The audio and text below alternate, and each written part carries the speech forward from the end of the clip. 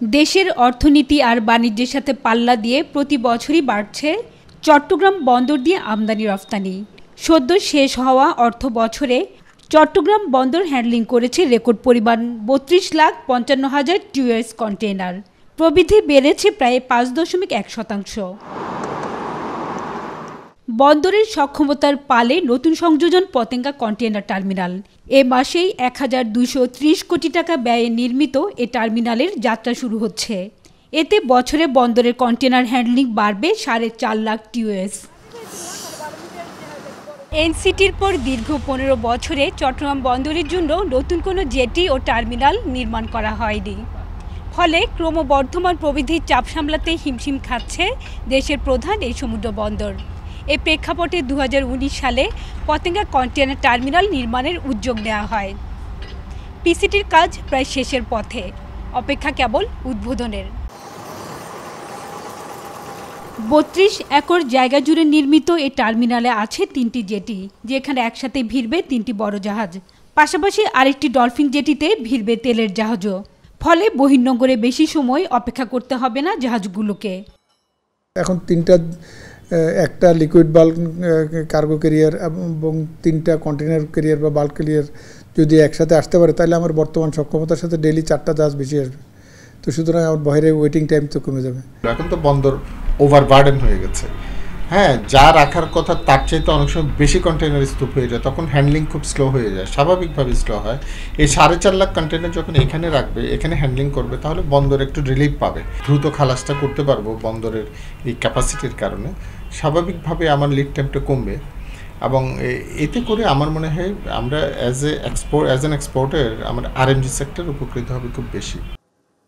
আপাতত নিজস্ব ব্যবস্থাপনায় এ টার্মিনাল পরিচালনা করবে বন্দর কর্তৃপক্ষ। পরে আন্তর্জাতিক কোনো অপারেটরকে দেওয়ার পরিকল্পনা রয়েছে।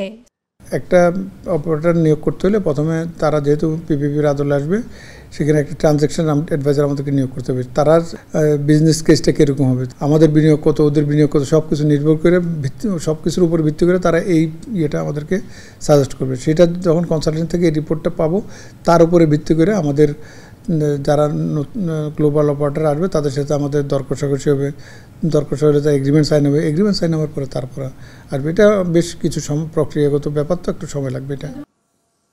শুরুতে শুধুমাত্র ট্রেনবাহী জাহাজই ভিড়তে পারবে পতেঙ্গা টার্মিনালে। সক্ষমতা কাজে লাগাতে আধুনিক যন্ত্রপাতি সংযোজন ও দ্রুত দক্ষ অপারেটর নিয়োগের আহ্বান বন্দর ব্যবহারকারীদের। তবে দেশীয় বার্থ অপারেটরদের দাবি, সক্ষমতা তাদেরই আছে। এখানে বিদেশি অপারেটরের কোনো প্রয়োজন নেই। এখানে আমরা টার্মিনাল অপারেটর এবং বার্থ অপারেটর আমরা যারা আছি, তারাই কিন্তু এই এই কন্টেনারটা হ্যান্ডলিং করছে প্রায় থ্রি পয়েন্ট থ্রি মিলিয়ন যাতে করে চিটাং পোর্টের আজকের অবস্থান ফিফটি এইটে চলে গেছে।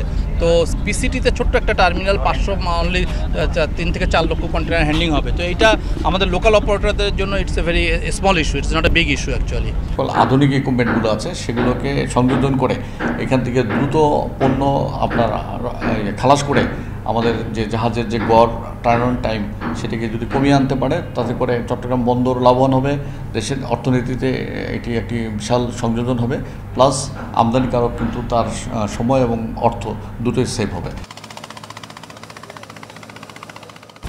এনসিটি সিসিটি ও জিসিবি সহ চট্টগ্রাম বন্দরের মূল জেটিগুলোর অবস্থান বঙ্গোপসাগরের মোহনা থেকে চোদ্দ কিলোমিটার দূরে। অথচ এই পতেঙ্গা কন্টেনার টার্মিনালের অবস্থান মোহনা থেকে মাত্র ছয় কিলোমিটার দূরে। ফলে এই টার্মিনালে জাহাজ ভিড়তে সময় লাগবে অনেক কম। সর্বোচ্চ দশ মিটার গভীরতা জাহাজ ভিড়তে পারবে পিসিটিতে। চট্টগ্রাম বন্দরে বর্তমানে বিশটি জেটি আছে। এর মধ্যে তেরোটিতে কন্টেনার জাহাজ ও ছয়টিতে সাধারণ পণ্যের জাহাজ ভিড়ে।